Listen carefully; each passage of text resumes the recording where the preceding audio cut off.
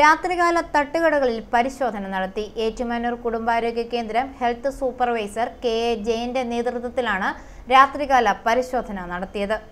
മോശമായ സാഹചര്യങ്ങളിൽ ഭക്ഷണ പദാർത്ഥങ്ങൾ പാകം ചെയ്യുന്നതും ഹെൽത്ത് കാർഡ് ഇല്ലാത്ത തൊഴിലാളികൾക്കും ആവശ്യമായ മാനദണ്ഡങ്ങൾ പാലിക്കാത്തതായി കണ്ടെത്തിയതുമായ സ്ഥാപനങ്ങൾക്ക് പൊതുജനാരോഗ്യ നിയമപ്രകാരം നോട്ടീസുകൾ നൽകി. Health inspector marine Bindu junior health ഇൻസ്പെക്ടർമാരായ P G Srinivasan Biju S Nair Rajeev S R Nishamol A J എന്നിവർ പരിശോധനയിൽ പങ്കെടുത്തു.